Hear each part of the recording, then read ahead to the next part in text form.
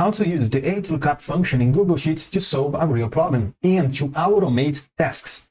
Here, I have a sales report with informations such as the date, product, cost, price, and gross profit. I want to calculate the gross profit, but the problem is I need to have the price minus the cost. And as you can see here, the price is blank. So I need to fill in with the correct information for all the different products that I have such as item 07, 06, 010, 02, and on and on. Each one of those items has a specific price. And I can check this price here in the list where I have all those products, the quantity in stock, the shelf location, the cost, and also the price. I need to take the price and input here in the report.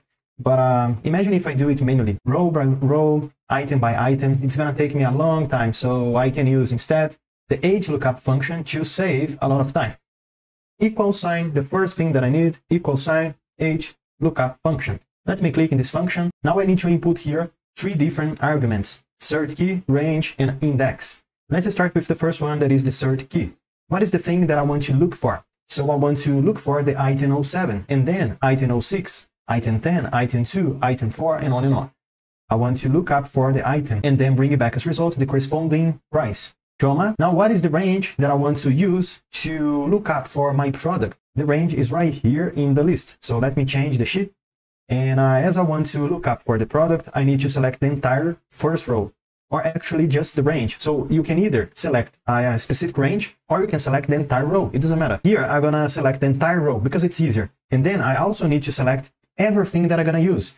But uh, because I have the first thing that I'm gonna use, that is the product as the first row, and the price is the last row here in my spreadsheet, I actually need to select everything because it's starting from the product and goes all the way down to the price. So I want to click over the number one and then click, hold and drag up to the row, the fifth row. And then I'm going to press here the F4 key because it's very important to lock this reference. And you know that uh, the, lock, the, the reference is locked when you have the dollar sign before the number and before the number 5 here. And uh, it indicates that doesn't matter if you click, hold, and drag a function in Google Sheets, the reference is going to stay in the same position. And this is what I need. Comma again, now the index. The index is basically the row that I want to bring it back as the result.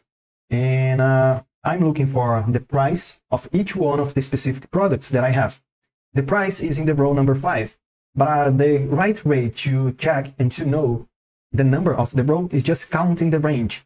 As I select this range right here, the product is the first row, the quantity in stock is the second one, and the price is the fifth. So I need to input the number 5 and close parentheses, close parentheses, and then press enter. And here we got the correct result. As you can see, uh, the Google Sheet is already suggest for me the autofill. You can click OK, but uh, let's say didn't have this tag that is appearing here for me. So let me close this one. And to make sure all the rows contain the same function, you can click in the down right corner of the cell, click, hold, and drag down, or double click, one, two. Okay, that's it. I have the cost, the price, and now the gross profit.